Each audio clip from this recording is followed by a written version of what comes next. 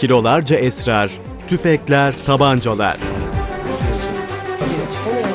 Doğu illerinden gelen ve sevkiyata hazır yüzlerce kilo esrar İstanbul'da ele geçirildi. İstihbarat çalışmaları sonrası ekipler harekete geçti. Operasyon Küçükçekmece ve Bayrampaşa'da yapıldı. Polis aç! Sen.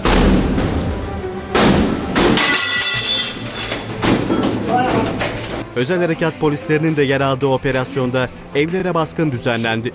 Uyuşturucuyla mücadele şube müdürlüğü ekipleri zehir tacirlerine göz açtırmıyor. İşte bakın İstanbul'da sadece bu ayın başında yapılan 3 ayrı operasyonda piyasa değeri yaklaşık 10 milyon liralık uyuşturucu ele geçirildi. Ve uyuşturucuların miktarı ise yarım tondan fazla.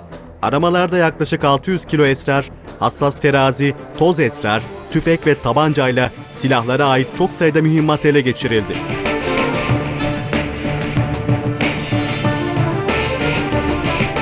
Zehir tacirlerinin Hint keneviri üretmek için evlere kurduğu seralarda imha edildi. Sadece iki gün içinde ele geçen uyuşturucular İstanbul Emniyet Müdürlüğü'nde sergilendi.